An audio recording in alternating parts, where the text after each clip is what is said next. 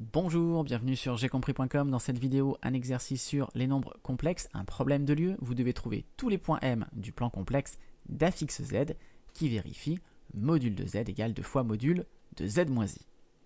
Comme d'habitude, dans un premier temps, je vous invite à faire pause, cherchez bien, et si vous êtes bloqué, bien poursuivez la lecture. Je vais donner des indications dans un instant. Allez, c'est parti pour les indications. Alors, une première remarque, ce type de problème, ici, ça doit vous faire penser à deux situations très classiques que vous devez avoir en tête. La première, c'est que l'ensemble des points M d'affixe Z qui vérifie ce type de relation, eh bien, c'est un cercle de centre A qui a pour affixe petit a et de rayon donc petit r. Et la deuxième, c'est que l'ensemble des points M d'affixe toujours petit z qui vérifie cette relation, eh bien c'est la médiatrice du segment AB avec les points A et B qui ont pour affixe petit a et petit b.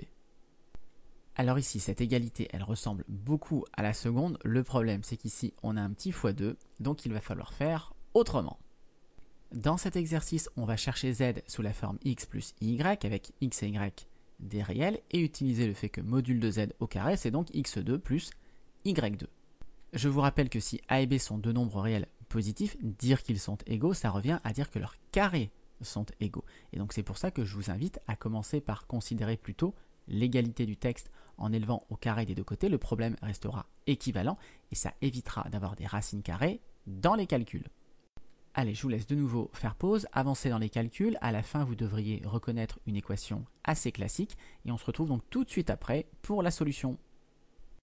Allez, on corrige donc soit z appartenant à l'ensemble des nombres complexes. Donc on pose z égale x plus y avec x et y réels, donc comme suggéré dans l'indication.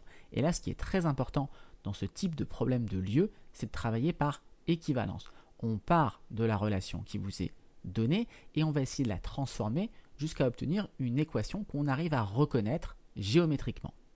Autre conseil général, on l'a dit, quand on a des modules, on préfère plutôt travailler avec des modules au carré. Ici, le module d'un nombre complexe est un nombre positif. On a un nombre positif également de l'autre côté. Donc on a bien équivalence entre dire que ces deux nombres sont égaux et dire que leurs carrés sont égaux. Donc je peux écrire que c'est équivalent à module de z au carré égale, donc là c'est tout ça qui est au carré, donc le 2 va être au carré également, donc 4 fois le module de z moins i au carré. Je peux ensuite remplacer le module de z au carré par x2 plus y2 comme on l'a vu. Il faut ensuite que je fasse attention pour le module de z moins i au carré. Il faut d'abord que j'écrive sous forme algébrique z moins i. Donc je le fais au brouillon ici. Un z i c'est x plus y moins i. Donc la partie réelle de z i c'est toujours x. Et puis si je factorise par i, je vois que la partie imaginaire c'est y moins 1. Conclusion, le module de z i au carré, hein, donc c'est partie réelle au carré, plus partie imaginaire au carré. Donc j'ai recopié ici mon expression dans la parenthèse, j'ai développé ce carré, puis j'ai développé le fois 4. Et donc voilà ce qu'on obtient. Et en enlevant un x carré de chaque côté et un y carré de chaque côté, on obtient cette équation avec le premier membre ici égal à 0. C'est toujours intéressant d'avoir 0 d'un côté parce que si vous arrivez à factoriser de l'autre côté, eh bien on peut simplifier notre problème. Alors ici, pas de factorisation. Mais quand on a du x carré et du y carré, il faut penser à une équation très classique. Alors si je divise par 3 des deux côtés, c'est peut-être un peu plus clair. Hein. Ce x carré plus y carré, eh bien ça doit vous faire penser à une équation de cercle qu'on aurait développée.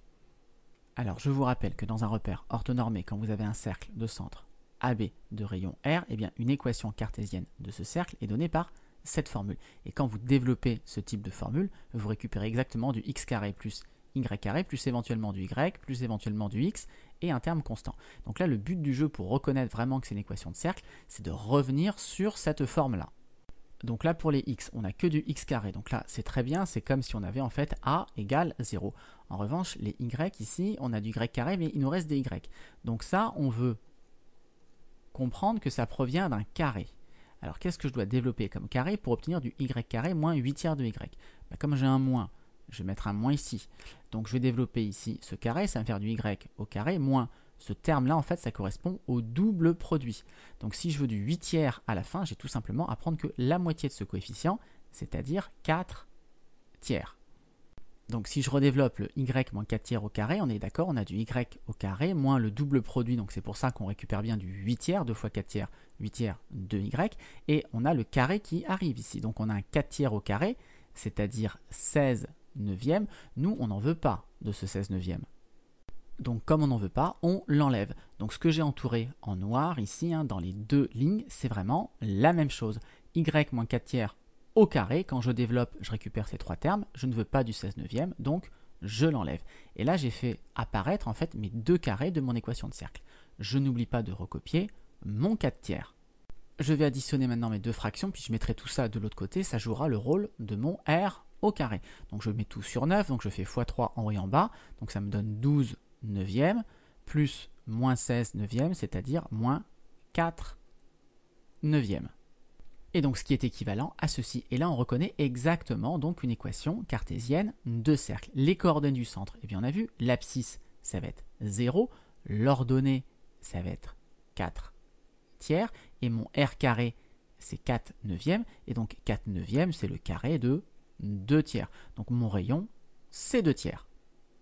On peut maintenant donc conclure, et vous voyez tout l'intérêt d'avoir travaillé par équivalence, c'est que je sais que les Z qui vérifient la première égalité, ce sont exactement les mêmes que ceux qui vérifient donc la dernière, qu'on reconnaît très bien, une équation cartésienne de cercle. Donc l'ensemble cherché, c'est le cercle de centre. Donc le point d'affixe 4 tiers de i, donc j'aurais pu dire de coordonnées 0, 4 tiers, mais comme on est plutôt ici dans le champ du plan complexe, je donne l'affixe du centre, donc 4 tiers de i, et le rayon, c'est 2 tiers. Voilà, c'est tout pour cette vidéo. Comme d'habitude, si vous l'avez appréciée, eh bien n'hésitez pas à la partager et à la liker.